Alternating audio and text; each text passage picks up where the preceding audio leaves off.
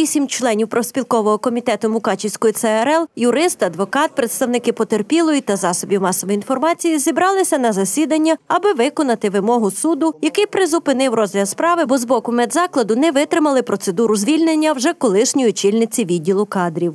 про поновлення на роботі та стягнення заробітної, заробітної плати за час вимушеного прогулу зупинити. Ухвала. До надання згоди або відмови у наданні згоди про спілковому органу Мукачівської ЦРЛ на звільнення Біляшець Ольги Ярославни. Поданий наказ е, від 25 грудня 2015 року номер 132 о скорочення штату працівників.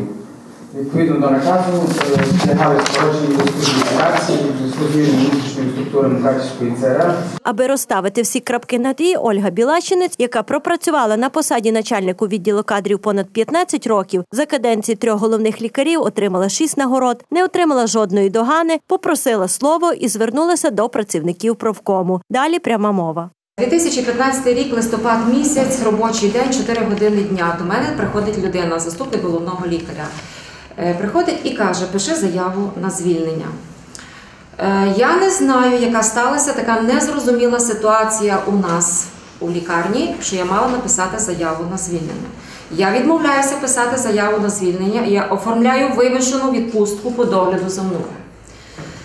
Е, Шановні колеги, учасники профспілкового комітету, я вас питаю, е, вас тут є сім чоловік. Скажіть, будь ласка, я з вами пропрацювала 15 років у лікарні. Скажіть, будь ласка, е, назвіть, озвучте хоча б одну причину, по якій мене треба звільнити з роботи. І хто з вас яку причину назве, я хочу просто її почути. Якщо це дійсно причина є документально підтверджена, то я може і позов заберу із суду. У відповідь тиша. Жоден член профкому не підвів голови і не висловився. Більше того, голосування про звільнення пані Ольги провели таємно. Тож усі присутні покинули конференц-зал, а коли повернулися, рішення було прийнято одноголосно. Все підписано, відпечатки пальців є. На бюлетнях згідно голосування е, роздано 8 бюлетнів, один запасний. Значить, поділок нема.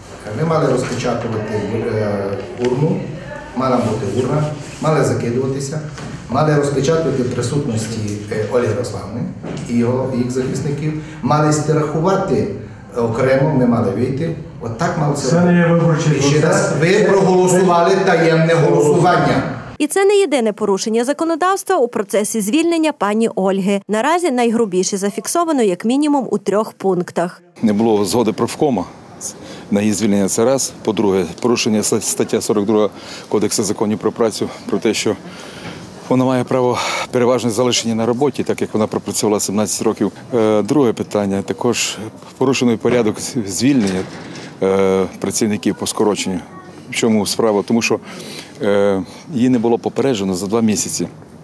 І на судовому засіданні на моє питання юрист, е, представник Мукачівської лікарні, так і не зміг дати письмові докази або усні ніяких доказів, що вона була попереджена за два місяці. Крім того, пані Ользі вчасно не запропонували зайняти іншу посаду. А коли врешті пропозиція надійшла, а мова йде про посаду санітарки, радше образила та принизила гідність людини з вищою освітою і 15-річним досвідом роботи на керівній посаді. Тож не дивно, що жінка здаватися не збирається і надалі відстоюватиме свої інтереси у суді за підтримки адвоката. Протокол рішення профкому долучать до справи. Фактично вони узаконили. Підтвердили незаконність, незаконність цих порушень, які е, були дійсно е, допущені адміністрацією ЦРЛ. Ну зараз я поки що е, не бачу вирішення, тому що це є система. Я зараз не можу. Я борюся в, в одіночку. Як кажуть, війна, війна в одіночку. Хоча яка це війна?